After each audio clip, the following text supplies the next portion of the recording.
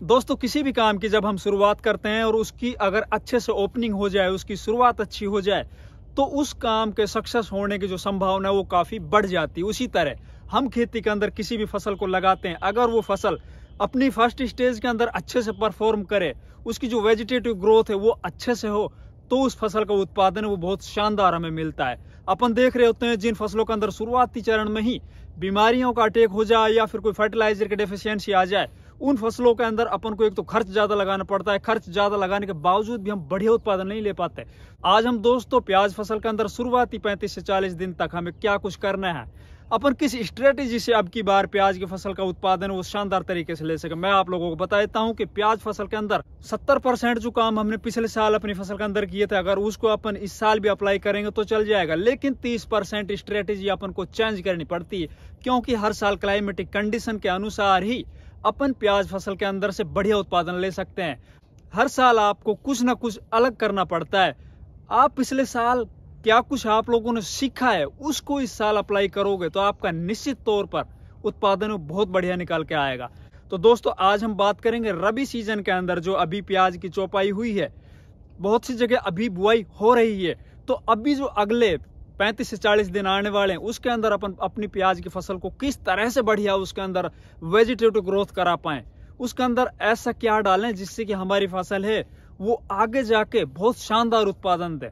तो दोस्तों, इस वीडियो के माध्यम से हम प्याज फ़सल के अंदर जो शुरुआती 35 से 40 दिन होते हैं उसके अंदर अपन को कौन कौन से फर्टिलाइज़र यूज़ करने चाहिए, कौन से इंसेक्टिसाइड फंजीसाइड यूज़ करने चाहिए?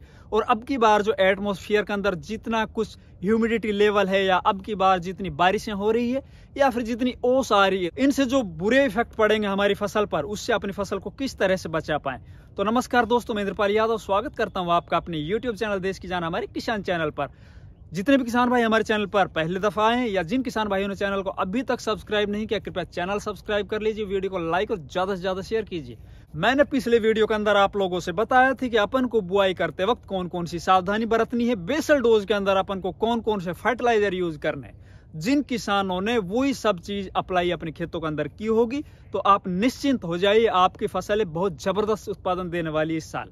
तो अब बात करते हैं दोस्तों, अपन को अब इससे आगे अपनी फ़सल के अंदर क्या कुछ करना है। तो अधिकतर जगह पर जो प्याज की फ़सल है, वो लगभग 15 से 20 दिन की हो चुकी है। तो दोस्तों, आपकी फ़सल जब 15 से 20 दिन की हो जाती है उस वक्त आपकी फ़सल के अंदर खरपतवार निकल आते हैं। तो सबसे पहला जो काम हमें करना है, वो खरपतवार नियंत्रण करना है। इसके बाद अपन को खरपतवार नियंत्रण करने के बाद कौन से फर्टिलाइज़र यूज़ करना है, जिससे कि हमारी फ़सल शानदार हो, बढ़िया हो ग्रीननेस आए। उससे आगे अपन को कौन से इंसेक्टिसाइड यूज़ करने अपने खेतों के अंदर, जिससे कि हमारी फ़सलें बीमारियों से बची रहे। आगे जाके थ्रिप्स का प्रकोप हमारी फ़सल पर ना हो पाए, आगे जाके पर्पल ब्लोज का प्रकोप हमारी फ़सल पर ना हो पाए, किसी तरह का कोई फंगस ना हो, किसी तरह से जड़ों से रिलेटेड कोई समस्या ना हो, ये सब भी आप लोगों को बताएँगे। लेकिन सबसे पहले बात करते हैं अपन खरपतवार नियंत्रण की। तो दोस्तों, मेरे पास एक मेरे सब्सक्राइबर का फ़ोन आया था, उसने मेरे को बताया, सर, हम कुछ कन्फ्यूज़ हैं। हमें कहीं से जानकारी मिली है कि हम जब खरपतवार नाशी का प्रयोग करते हैं तो ऑक्जी फ्लोरोफैन जो चौड़ी पत्ती के लिए आता है, गोल आता है, अल्टो आता है, गोल्ड, ये कई नामों से आता है। तो क्या हम उसको पर 20 लीटर पंप के अंदर 20 एम डाल सकते हैं? तो दोस्तों, मैं आप लोगों को बता देता हूँ कि खरपतवार नाशी के अगर एक एम मात्रा भी आपके पंप के अंदर ज़्यादा चली गई तो निश्चित तौर पर आपकी फ़सल के ऊपर उसके बुरे प्रभाव दिखाई देंगे। तो दोस्तों, मैं आप लोगों को सही डोज बताता हूँ।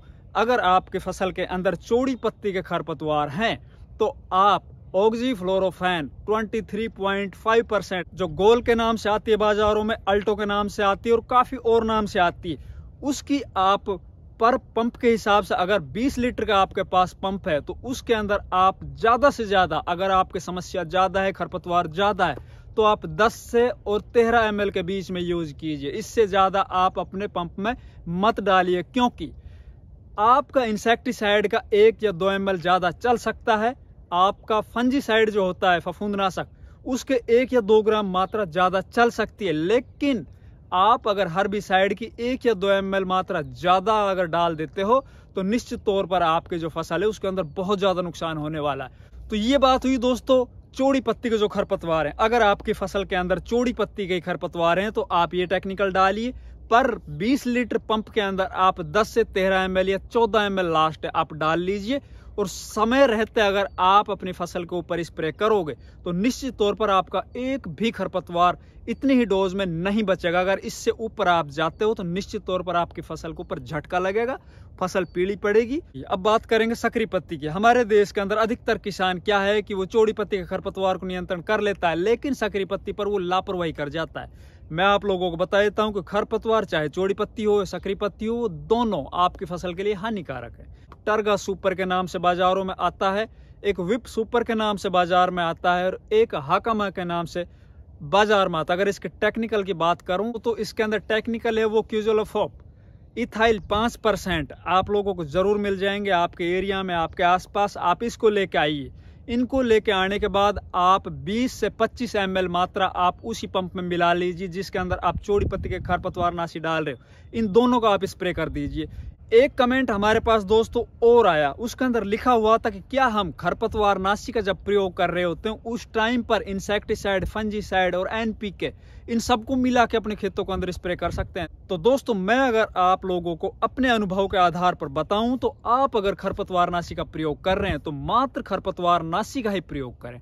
उसके अंदर आप ना कोई फंजीसाइड यूज़ करें, ना कोई एनपीके यूज़ करें। हाँ ये ज़रूर हो सकता है, जो मैं खुद करता हूँ कि अगर आपके खरपतवार थोड़े से बड़े हो गए और उनके अंदर मच्छर हैं, जो रसचूसक कीट होते हैं, अगर वो आप लोगों को दिखाई दे रहे हैं और आप खरपतवार नाशी का प्रयोग अपने खेतों के अंदर करोगे, उसके बाद आपके खरपतवार वो खत्म हो जाएँगे। लेकिन जो मच्छर हैं, जो रसचूसक कीट हैं वो आपकी फ़सल के ऊपर बहुत ज़्यादा हमला कर देंगे।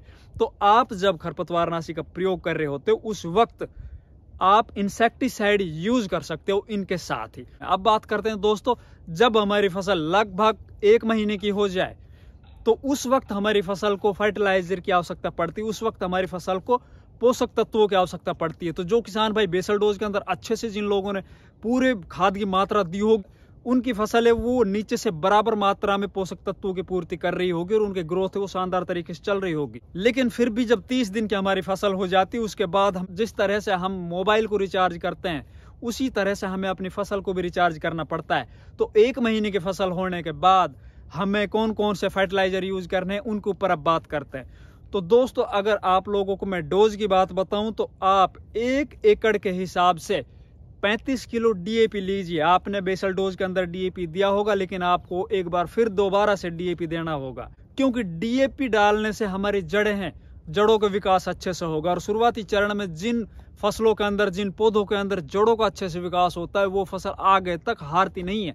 वो बीमारियों से भी अच्छे से लड़ पाती है, उनकी वेजिटेटिव ग्रोथ भी अच्छे से हो पाती है और उनका आगे जाके कंद भी अच्छा बनता है। तो अपन को 35 किलो पर एकड़ के हिसाब से डीएपी लेना है, उसके बाद अब बात करते हैं नाइट्रोजन की। अगर हमने बेसल डोज के अंदर नाइट्रोजन की कुछ मात्रा दी है तो 30 दिन के बाद हम नाइट्रोजन लगभग 25 से 30 किलो पर एकड़ के हिसाब से ले सकते हैं। वैसे मैं आप लोगों को बता देता हूँ कि जो किसान स्टॉक करते हैं प्याज को, जैसे कि प्याज की हार्वेस्टिंग करने के बाद अपन को दो, चार, पाँच महीने के लिए उसको स्टॉक करना पड़ता है। तो ऐसी स्थिति के अंदर अपन को नाइट्रोजन खादों से थोड़ा बचना पड़ेगा। क्योंकि हमें वेजिटेटिव ग्रोथ भी करानी है अपनी फ़सल की, उसके अंदर ग्रीननेस भी लगातार बना के रखनी है तो उसके लिए हमें पौधे को नाइट्रोजन भी देनी पड़ेगी। तो हमें पर एकड़ के हिसाब से जब हमारी फ़सल 30 दिन की हो जाती है या 35 दिन की हो जाती है तो पर एकड़ के हिसाब से लगभग 30 किलो नाइट्रोजन देना है। इसका विकल्प मैं आप लोगों को बताता हूँ, बहुत शानदार। आप यूरिया की जगह अगर आप लोगों को अमोनियम सल्फेट मिल जाता है तो आप 20 किलो अमोनियम सल्फेट लीजिए और 10 किलो नाइट्रोजन खाद मतलब यूरिया लीजिए। आप इनको मिलाइए। अब बात करते हैं दोस्तों, अभी फ़सलों को बहुत से माइक्रोन्यूट्रेंट्स की आवश्यकता पड़ती है और शुरुआती चरण में अगर फ़सल के अंदर किसी भी माइक्रोन्यूट्रेंट्स के डेफिशिएंसी आ जाए तो फ़सल है वो आगे जाके कहीं ना कहीं अपना प्रभाव दिखाएगी। तो इस अवस्था के अंदर जब हम अपनी पूरी डोज डाल रहे हैं उस टाइम पे आप लगभग सात से आठ किलो या पर एकड़ के हिसाब से दस किलो तक कोई बढ़िया कंपनी का माइक्रो न्यूट्रेंट्स लीजिए। बहुत ही ज़रूरी है ये। अब बात करते हैं दोस्तों, जड़ों से संबंधित जो बीमारियाँ होती है हमारे ज़मीन के नीचे। चाहे वो फंगस हो या फिर कोई इंसेक्ट हो जैसे कि टर्माइट की समस्या आ जाती है वाइट ग्रब की समस्या आ जाती है बहुत से खेतों के अंदर नेमेटोड की समस्या आ जाती है। तो अब भी उनको किस तरह से अपन को रोकना और इस टाइम पे ही उस, उनको रोकना बहुत ज़रूरी होता है क्योंकि आगे जाकर फिर वो समस्या ज़्यादा बन जाएगी। तो उसके लिए हमें एक लीटर क्लोरोपायरिफोस या फिर आप पाँच के जी कार्टेप हाइड्रोक्लोराइड या फिर आप पाँच किलो फिप्रोनिल प्लस थाइमेथोक्सोम ये कॉम्बिनेशन भी आता है बाजारों में। आप इनमें से कोई एक चीज़ ले लीजिए। इनको लेने के बाद अपने जो भी खाद है, उन्हीं के ऊपर आप सभी को उड़ेल दीजिए। ये सब उड़ेलने के बाद अब बात करते हैं दोस्तों, अपन ने इंसेक्टिसाइड भी नीचे से दे दिया, ऊपर से अपन फ़सलों को, जितने भी हमारी फ़सलों के अंदर पोषक तत्वों की कमी है, उनकी भी पूर्ति अब कर दी। अब इस मौसम का अंदर बहुत ज़्यादा नमी है तो नमी ज़्यादा होने के कारण हमारी जो ज़मीन के अंदर फंगस है वो भी अपना काम करेगी और हमारी फ़सलों के ऊपर वो अटैक निश्चित तौर पर करेगी। तो इससे हमें निजात पाने के लिए या तो आप तीन किलो पर एकड़ के हिसाब से सल्फ़र ले लीजिए, नब्बे परसेंट डब्ल्यू जी फॉर्मुलेशन की जो आती है। मैं आप लोगों को 90 परसेंट डब्ल्यू जी फॉर्मेशन जो पाउडर फॉर्म आती है, वही बता रहा हूँ तीस दिन के बाद। अगर आप दानेदार कोई बेंटोनाइट सल्फ़र लोगे तो वो बहुत लेट तक काम करेगी। और बेंटोनाइट जो सल्फ़र आती है दानेदार, वो अपन बेसल डोज के अंदर अगर लेते हैं या फिर खेत की जब गुड़ाई करते हैं, उस वक्त अपन डालते हैं तो शायद ज़्यादा बेहतर काम करती है। या फिर आप फंजी साइड के अंदर कार्बनडिजम मैनकोजेब, जैसे कि साफ़ पाउडर या फिर कार्बनडिजम पचास परसेंट, जैसे कि धानुका कंपनी की धानुस्टीन आती है या बहुत सी कंपनियों की आती है, या फिर आप रोको थाइफेनेट मिथाइल, ये भी ले सकते हो आप 500 ग्राम। पर एकड़ के हिसाब से इन सबको अच्छे से मिला लो दोस्तों। इन सबको अच्छे से मिलाने के बाद आप अपने खेतों के अंदर फेंक दीजिए, फेंकने के बाद आप सिंचाई कर दीजिए। आपकी फ़सल है वो बिल्कुल खिलखिला उठेगी। मैं गारंटी देता हूँ आप लोगों को, जब आप इन खादों को डालने के बाद सिंचाई कर देते हो और उसके दो या तीन दिन बाद जब आप अपने खेतों के अंदर घुस सको, उस टाइम पे आप एक स्प्रे ज़रूर कर दीजिए उसके अंदर आप इंसेक्टिसाइड और फंजीसाइड दोनों का मिलान कीजिए, बहुत अच्छे से। तो मैं आप लोगों को टेक्निकल बताता हूँ। क्योंकि इस टाइम पे जब हमारी फ़सल तीस दिन की होती है, प्याज फ़सल तो उस टाइम पे थोड़ा मौसम ठंडा होता है। तो इस टाइम पे अपन profenofos cypermethrin plus alphamethrin इनमें से दोनों की 25-25 एम एल पच्चीस एम एल परफोनोफोस साइपरमेथ्रिन जो प्रोफेक्स के नाम से आता है और 25 एम एल अल्फ़ा मैथ्रिन जो बहुत सी कंपनियाँ बनाती है, जैसे कि स्टॉप के नाम से आता है तो आप फंजीसाइड के रूप में आप कार्बन डिजम मैनकोजेब ले सकते हो, आप थाइफेनेट मिथाइल ले सकते हो, या फिर मैं आप लोगों को एक और शानदार प्रोडक्ट बताता हूँ पीआई कंपनी का कीटाजिन इन फंजीसाइड में से किसी एक इन इंसेक्टिसाइड के साथ स्प्रे कर दीजिए, आपकी फ़सल है, वो बीमारियों से मुक्त हो जाएगी। आगे जब आपकी फ़सल जैसे जैसे वो अलग स्टेज में पहुँचती जाएगी, बीमारियों का अटैक, वो भी उसी तरह से बढ़ता जाएगा। जैसे जैसे हमारे मौसम के अंदर गर्मी बनती जाएगी थ्रिप्स का प्रकोप बढ़ता चला जाएगा। उसी के साथ साथ पर्पल ब्लोच की भी संभावना बनती चली जाएगी। तो उसी हिसाब से अपन फिर उसके अंदर टेक्निकल भी बढ़ाते चलेंगे दोस्तों। तो अगर अभी इस अवस्था के अंदर ही हमने हाईली टेक्निकल अपनी फ़सलों के अंदर डाल दिए तो निश्चित तौर पर आगे जाके फिर वो फैल हो जाएँगे। साथ ही दोस्तों, एक बात मैं पीछे भूल गया, जब आप खरपतवार नाशी का प्रयोग कर रहे होते हो, उस वक्त आपकी ज़मीन के अंदर पर्याप्त नमी होनी बहुत ज़रूरी है। अगर आपकी फ़सल के अंदर नमी नहीं होगी तो जो आप हर्बिसाइड यूज़ कर रहे हो अपने खेतों के अंदर, उसका जो प्रभाव है वो कम हो जाएगा, जबकि आपकी फ़सल के ऊपर उसका जो दुष्परिणाम है वो ज़्यादा बढ़ जाएगा। तो कोशिश कीजिए अपनी फ़सल के अंदर जब आप सिंचाई कर दो, उसके दो से तीन, चार दिन बाद जैसे आप खेतों के अंदर जा सको, आपके खेत के अंदर पर्याप्त नमी हो, उस वक्त आप हर्बिसाइड के यूज़ कीजिए, खरपतवार नाशी का स्प्रे कीजिए, जिससे कि आपके फ़सल के जितने भी खरपतवार हैं, वो नीचे जड़ों तक आपके जो वो जो आप स्प्रे कर रहे हो, वो हर्बिसाइड जड़ों तक बैठ जाए और वो नीचे जड़ों तक आपका जो खरपतवार है वो खत्म हो जाए। तो दोस्तों, आप ये काम कर लीजिए, निश्चित तौर पर आपकी फ़सल बहुत शानदार तरीके से अपनी जो फ़र्स्ट स्टेज उसको आराम से पार कर जाएगी और सेकेंड स्टेज में बहुत धूम धड़ाके के साथ प्रवेश करेगी। उससे आगे दोस्तों अपन को क्या कुछ करना है सेकंड स्टेज के अंदर जब हमारी फ़सल पहुँच जाएगी तो उसके ऊपर भी बहुत जल्द आप लोगों को वीडियो मिलने वाला है। धन्यवाद।